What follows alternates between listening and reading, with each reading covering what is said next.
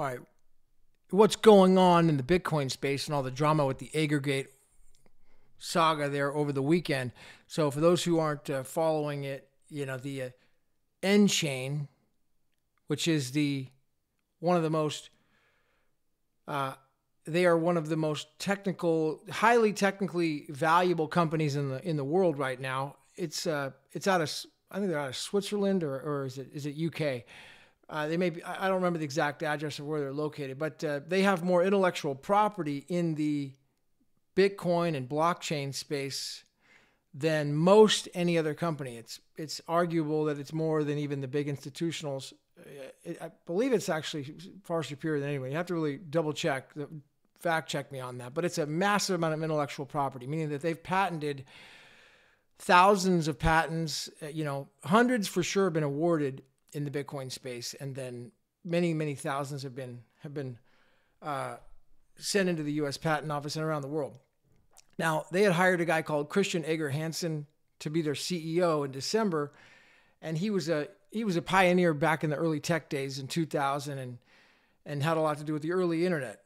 But at this point, you know, he uh, he made a lot of made a lot of claims and said, said a lot of things that were uh, disruptive, what appeared to be disruptive, and then so then Calvin Ayre, who's a who is a was originally the founder of a company called uh, Bodog and has had tremendous success with Ayre Ventures.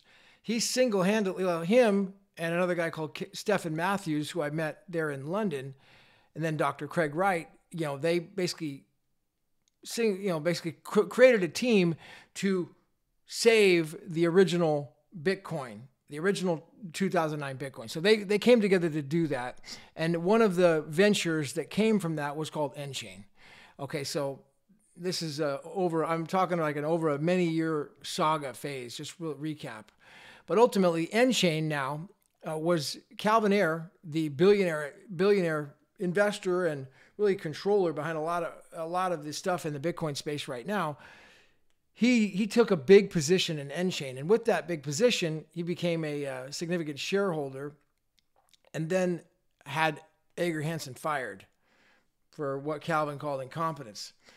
Then Ager Hansen went off off the deep end and did what looked to be like uh, what looked to be like poor negotiating strat- strategies or uh, you know perhaps leverage of trying to get get his way or just maybe just a, an upset person stomping his his feet on the ground uh, throwing a lot of uh, negative and hateful information on Twitter and over the internet uh, that are just base okay without facts. And when people make these uh, these claims uh, you know he made a lot of wild claims that he that, he's, that he says are uh, that he has done all this and believes this information about Satoshi and and Dr. Wright and you know these things but he doesn't back them up with any facts meaning like uh, there's court cases coming up right now if he's got any facts then I give him a challenge Put your facts on an affidavit and let's see you in court, pal. Get before a judge. Swear to something. Put your hand on the Bible and do it under penalty of perjury. Otherwise, let's leave the childhood childish gossip for the high school games and move on to business because it's clear that the, the big, original Bitcoin space is the is the most I mean utilized uh, chain in the world out of all the other all the other blockchains and it's also clear that it's being developed upon in a major, major way. And there's another another guy from a company called Bab Babbitt Babbage, just a really sincere guy, a founder of the company that made a really genuine video and was heartfelt and how his company was being harmed from these negative things that uh, Ager Hansen was saying without facts. And, you know, he just didn't appreciate it. And so, in his defense, you know, when people, when Ager Hansen's coming out and doing this, I mean, really, put your money where your mouth is and let's get in court and have have some litigation.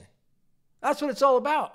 We don't need to get into a Twitter space uh, yelling match over over wh- how you didn't get your way. If you've got facts, bring them.